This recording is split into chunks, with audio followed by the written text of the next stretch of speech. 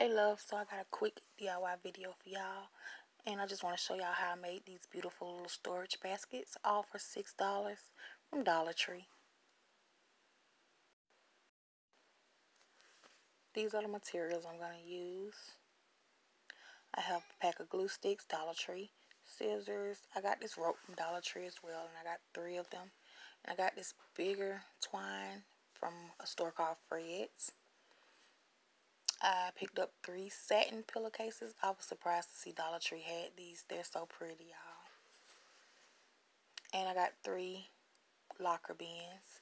The color doesn't matter because they're going to be completely covered. And I used my glue gun. And I'm just going to take the hot glue and place it around the bottom, starting at the bottom of the bin, and place my rope. And I'm just going to do that until I get my desired look.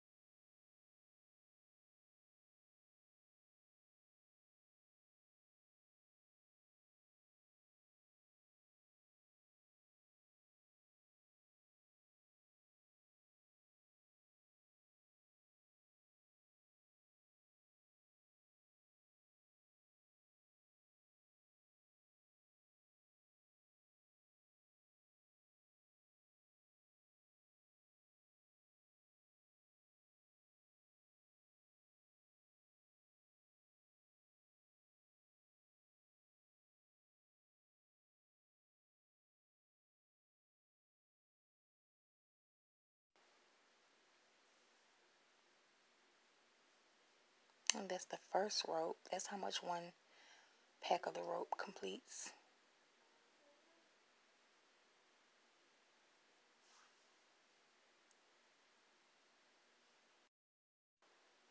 So now I'm just going to take, before I completely finish my rope, I'm going to take and wrap, roll my pillowcase up. And then I'm just going to place it inside and flip it back over the edges. And I'm doing it this way just so I can see where I want, how far I want to leave the corners. So I can know how much more rope to wrap around. And to keep that in place, I did place some hot glue on it. But this is the finished basket. And it just turned out so cute, y'all. I really, really loved it. I'm not going to place anything on the bottom because you won't be able to see it and I did that three times. My second craft, I'm going to use this little Dollar Tree small crate, some smaller twine I got from Dollar Tree, and some more glue guns.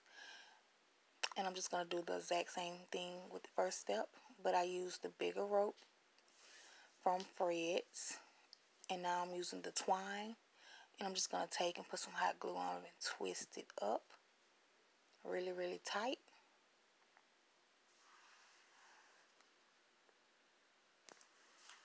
I'm just going to do that until I feel like it's tight enough on both ends. And I did take and to make it thick, I had to like overlap the twine because as you see, it's like really thin threads. So I did have to take and wrap it up.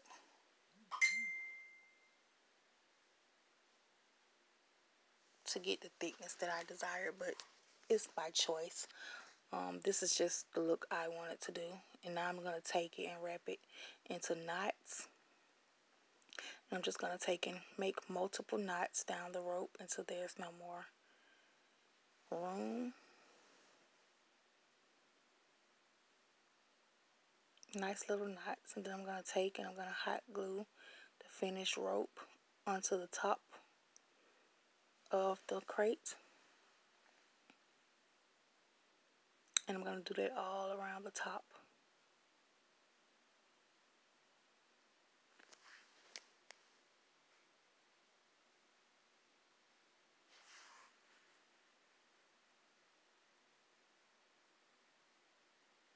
I burnt myself. that glue gun gets really hot. That glue is something serious.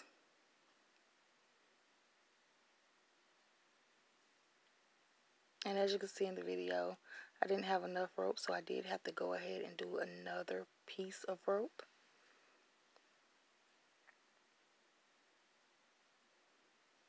And so this is the finished basket. And I'm not going to do anything to the inside because once I fill it up, you won't be able to see that. But I think it turned out very, very cute.